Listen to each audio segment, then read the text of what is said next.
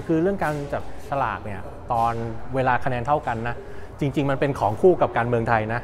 นะครับถามว่าในการเลือกตั้งแบบสสอะที่เรารู้สึกว่าเฮ้ยหมอคนออกมาเลือกกันเป็นร้อยเป็นหมื่นเนี่ยถ้าคะแนนเท่ากันเนี่ยกฎหมายก็เขียนนะว่าให้จับฉลากแล้วก็ไอการเลือกสวโดยระบบที่เป็นอยู่ในปัจจุบันนะครับ มันก็มีโอกาส เพราะวันนี้การสมัครที่อำเภออะครับมันถูกแบ่งเป็น 20 กลุ่ม แน่นอนในแต่ละพื้นที่ของประเทศไทยอะ20 กลุ่มนี้มันอาจจะไม่ได้แบบว่าเฮ้ยต้องมีคนทุกกลุ่มในแต่ละอำเภอบางบางอำเภอจะมีบางกลุ่มเยอะบางกลุ่มน้อยอซึ่งจะเป็นเช่นนี้แทบทุกพื้นที่ มันก็มีโอกาสครับ เช่นในรอบแรกที่ต้องเลือกกันเองภายในกลุ่มให้เหลือ 5 คน มันก็อาจจะมีความเป็นไปได้ว่ามีคนสมัครอยู่ 6 คน เลือกกันไปเลือกกันมาอาจจะคะแนนเท่ากันหมดทั้ง 6 คน ต้องจับฉลากให้เหลือ 5 คนอย่างเงี้ยเป็นต้นใช่ไหมครับ แล้วก็พอในรอบต่อไปแม้ว่าจะมีการไขว้กลุ่มเนี่ยด้วยด้วยจำนวนคนสมัครที่มันอาจจะมีจำนวนน้อยๆ แบบนี้เนี่ยแหละ โอกาสที่มันจะเท่ากันมันก็จะเกิดขึ้นได้นะครับมันก็จะไว้แก้ปัญหาในทางปฏิบัติว่าอ้าวถ้าคะแนนเท่ากันทำยังไง คือคันว่าจะปัดขึ้นไปทั้งหมดเงี้ยมันก็จะไปกระทบกับภาพรวมของตัวระบบมันอาจจะไปป่วน เพราะฉะนั้นมันต้องล็อกตัวเลขให้มันเป็นไปตามที่ระบบเขาออกแบบ มันก็เลยต้องจับฉลากคนโชคร้ายออกไปนะครับ คือเรื่องการจับฉลากเนี่ยตอนเวลาคะแนนเท่ากันนะจริง ๆ มันเป็นของคู่กับการเมืองไทยนะ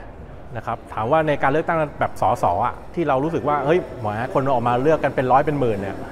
ถ้าคะแนนเท่ากันเนี่ยกฎหมายก็เขียนนะว่าให้จับฉลากนะครับเอาผู้ชนะคนเดียวนะครับในการเลือกตั้งท้องถิ่นก็เช่นเดียวกัน ถามว่าที่มาที่ไปมันยังไงก็คือตั้งแต่ประเทศไทยมีการเลือกตั้ง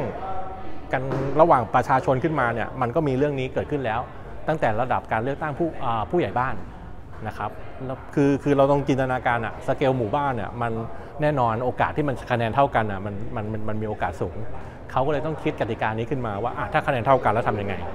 นะครับมันก็พ่วงขึ้นมาในการเลือกตั้งระดับอื่น ระดับท้องถิ่นระดับชาติ แต่ก็โอเคนั่นแหละมันมันจริงๆอะการจับฉลากมันไม่ใช่ทางออกที่ดีที่สุดหรอกนะครับเพียงแต่ว่าในสังคมไทยเราค่อนข้างจะยอมรับมัน ในต่างประเทศมันอาจจะมีวิธีการอื่น ที่เขาอาจจะยอมรับได้มากกว่า เช่น วาระของการดำรงตำแหน่ง 4 ปี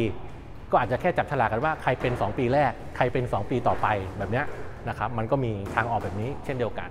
คือคือแทนที่จะจับฉลากให้คนหนึงเป็นผู้แพ้ไปเลยทั้งทั้งที่ได้คะแนนเท่ากับผู้ชนะอย่างเงี้ยใช่ไหมครับมันมันมันก็มีทางออกทางอื่น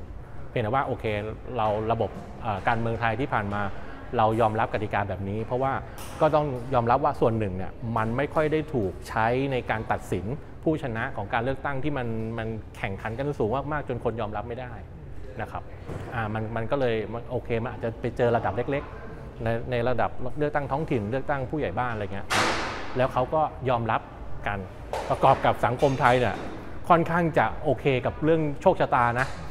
ยอมรับโชคชะตานะเรื่องดวงอะไรแบบเนี้ย คือก็ถือว่าจับฉลากแพ้ก็คือดวงซวยอะอะไรแบบเนี้ยนะครับมันก็มีเรื่องของวัฒนธรรมในสังคมเข้ามาปนด้วย มันเลยทำให้กติกาเนี่ยมันไม่ถูกโต้แย้งมากนะ